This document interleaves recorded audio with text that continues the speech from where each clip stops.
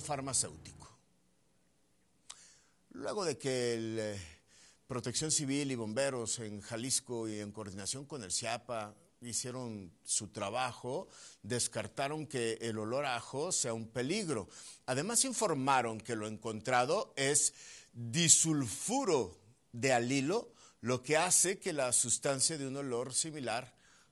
En conjunto, la Unidad Estatal de Protección Civil y Bomberos de Jalisco, con el CIAPA y Bomberos de Zapopa, revisan el aroma ajo, de dónde proviene, y además estuvieron revisando en una fábrica abandonada de plásticos en la colonia El Coli Urbano.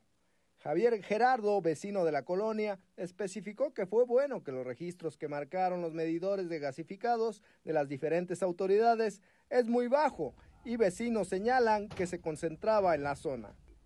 El peligro de explosividad y de contaminación es muy bajo.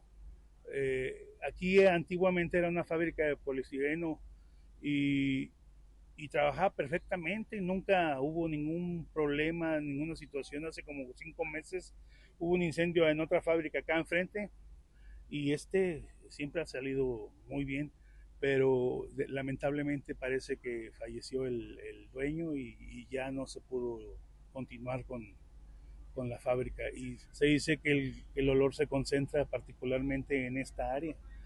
Entonces solamente queda descartar a través del área de comunicación social de Protección Civil Jalisco, se informó que lo encontrado en el drenaje es disulfuro de alilo, un agroquímico con bajo impacto ambiental, sustancia que da el olor característico al ajo.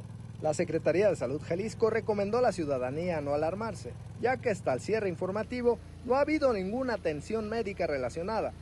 Ante síntomas como irritación ocular, nasal y en vías respiratorias,